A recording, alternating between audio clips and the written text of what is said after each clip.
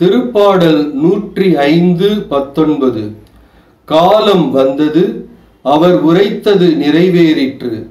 ஆண்டவரின் வார்த்தை அவர் உண்மையானவரென மெய்ப்பித்தது.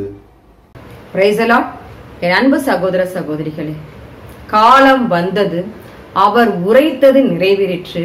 ஆண்டவரின் வார்த்தை அவர் உண்மையானவர் என மெய்ப்பித்தது.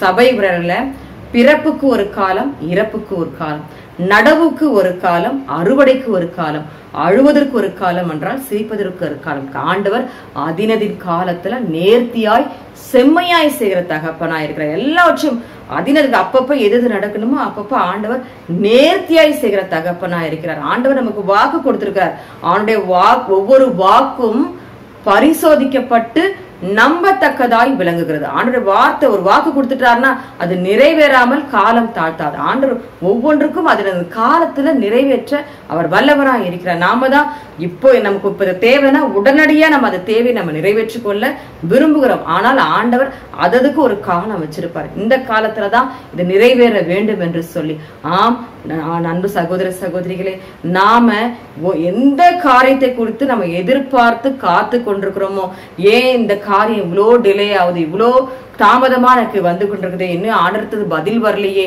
நான் இவ்வளோ நாளா ஆண்டர்கிட்ட கேட்டுட்டே இருக்கிறேனே. எனக்கு கொடுக்கலையேன்னு சொல்லி கலங்கி இருக்கிறீங்களா? ஆண்டவர் இன்று நமக்கு கொடுக்கும் வார்த்தை. காலம் வந்தது. அவருடைய வார்த்தை நிறைவேறிற்று.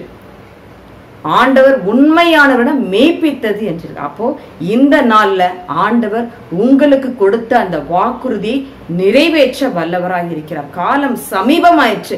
ஆண்டவர் கொடுத்த வாக்குறுதி நிறைவேற்றவர் காலம் தாழ்த்துவதில்லை.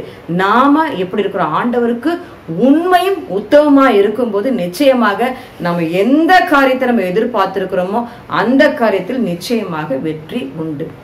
இந்த நாள் இனிய நாளாகட்டும். God bless you